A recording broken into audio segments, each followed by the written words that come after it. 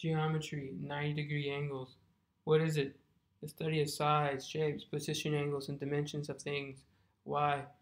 90 degrees are the best angles for boxes to hold the most stuff.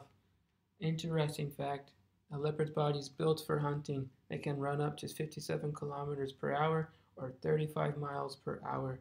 They are excellent swimmers, climbers, and leapers. Now let's take a look at the spinner. Okay, we're talking about right angles. How many right angles do you see? It, that's, uh, uh, what number are you thinking right now? Let's, let's figure out if you're correct. Now remember, we are looking for anything that has a capital letter L shape. Okay, so just put your fingers like this, like an L, and you can see if you rotate or move your hand, no matter which way you put it, you still have an L. Same thing for, for right angles. So let's go ahead and get started. As you can see in the green section, there's a, a letter, a white letter L. We move it to the blue, there's another one, and a red one, a third, and finally a yellow. There is four right angles that you see for this, for, uh, for that particular circle with, this, with the amount of sections that you see.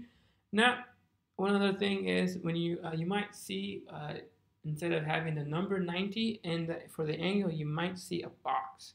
So if you see a box that represents 90 degrees, so that's just for you to be aware. Okay, so let's go ahead and get started by taking a look at the steps. Step one is it clockwise or anti-clockwise, and step two, rotate the image that way.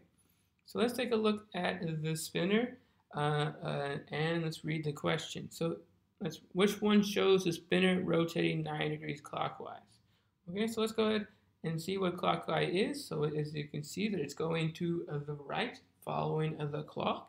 So now we're going to go ahead and add the arrow to uh, the, the, the, original spinner. And now we're going to go ahead and move the, the black spinner to the right 90 degrees or one section of the circle. Because there's four.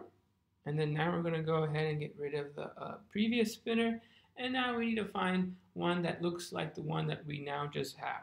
And, and as you can see, it is the letter A. So now we have moved it 90 degrees clockwise. We've answered it. Let's move on to the next question. So which one shows the spinner rotating 9 degrees anti-clockwise? Okay, so now we just went right. Now we're going to go left, against the way that a clock normally goes. And now, as we're going to once again go left, we've added the arrow on the screen so that we can see. And then now we're going to go ahead and move the arrow to the left, get rid of the original spinner or arrow, and then now we need to match which one of these is uh, one of the of, the of our new spinner. And as you can see, it is B. Okay, so now let's go ahead and move on to the next example. Here we're going to have two, um, two things we need to do. So let's go ahead and read it. Which one shows the spinner rotating 90 degrees clockwise and the sections rotating 90 degrees anti-clockwise. So let's go ahead and do one section at a time. So we're going to do the spinner. We're going to go ahead and rotate and move, and because we're going clockwise, we need to move it to the right. And that's what we're going to do. And now we've moved it, we can get rid of the old spinner and keep the, with the spinner where it is. And now we're going to go ahead and talk about the sections. And we're going anti-clockwise, which means we're going to the left, so the spinner stays in the same spot. And now we're going to move the sections to the left, and we're going to do it slowly and surely. And as you can see, the spinner is staying in the same spot, but those sections are moving to the left. Now, which one of these looks like the one that we've now just created? It's not B because the colors don't match. So the colors do match, but the spinner doesn't match. It's not A, sorry, rather I meant to say first, because the colors do not match. It's not C, because the colors and the spinner does not match. So the only one that is left is D. Okay, so let's take a look at this spinner. So how many degrees did the uh, image below rotate in which direction? So this time, uh, let's go ahead and, and, do the clockwise first just to see. So when we did that one, we're going to go to the right and we're going to go ahead and slowly move it so it matches the, the one below. And right now it matches. We only moved one section or we moved 90 degrees clockwise. And then now wait, we were not done yet. Why? Because what happens if we if we don't move to the right? What happens if we start moving anti-clockwise? So we're going to go to the left.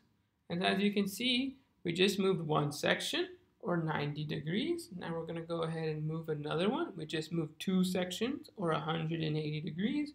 And then finally, we are here. We've matched it. We went three sections or 270 degrees anti-clockwise. How do you get 270? For You get three sections or you can add 90 degrees three times to get 270. Okay? And that is your answer on your screen. 90 degrees clockwise or 270 degrees anti-clockwise.